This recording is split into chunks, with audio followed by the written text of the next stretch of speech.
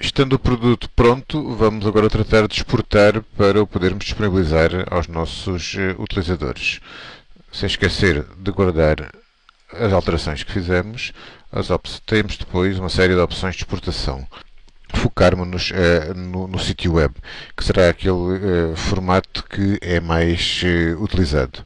Temos aqui duas opções, que pode, podemos criar um fecheiro zip que, que conterá todo, todo o material, toda a página e os fecheiros anexos, o que é prático, porque podemos imediatamente distribuí-lo aos alunos. Vamos aqui criar uma localização e vamos chamar teste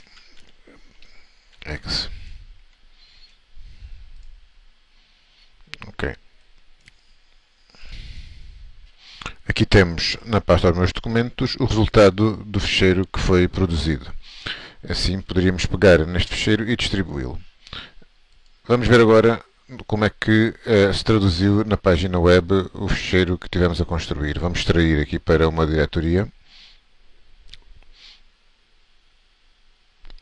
E aqui temos todo o conjunto de fecheiros. O fecheiro inicial é sempre o fecheiro index. E aqui está o nosso site. Se utilizarmos o Internet Explorer, é provável que sejamos sempre confrontados com esta uh, mensagem, porque este site é feito de conteúdos ativos com, controladores uh, Java e ActiveX, portanto teremos sempre que autorizar a execução deste conteúdo. E aqui está a página com a navegação que foi adicionada automaticamente e com navegação também na parte inferior de cada uma das páginas.